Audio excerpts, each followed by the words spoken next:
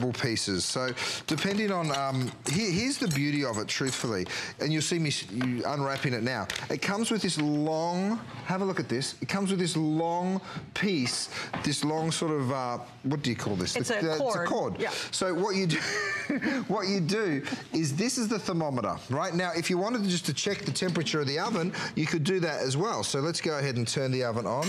You just drop that in. You can close that in the oven. It's not gonna burn, it's not gonna melt. A lot of people would think that. And then let's turn the oven on. I just turned it off. Um, turn the oven on. So let's just get it started. It's going to preheat to 350. Now, if you come down here and have a look, it's going to show you exactly what the current temperature is. All right, so is that better there? I just want to tilt it for him. I can Let hold it me, up. There you uh, go. There get goes. towel here. So it shows you the current temperature. There we go. Oh, thank you. Mom. It's nice. Can I use this on a Isn't grill? that cool? So now, here, here's the amazing thing. That is what you call um, uh, a core temperature thermometer. So I can go ahead and stick this into the beef and keep your eye on the temperature. Right, it's gonna beep because it's telling me that it's higher than what I've set it for. It's now telling me that the core temperature of that is 154 degrees.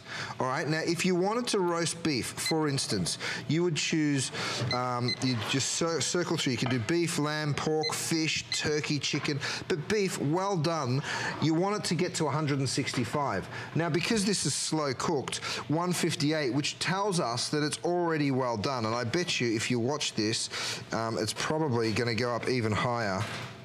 There you go. It's up to 163. It tells you when it's at 163, so you stop it.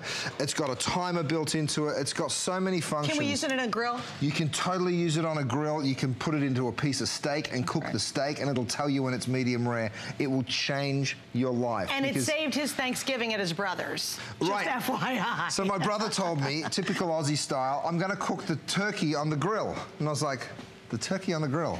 Did you get a breast or did you get the whole bird? And he's like, no, no, it's a whole turkey, but it's got one of those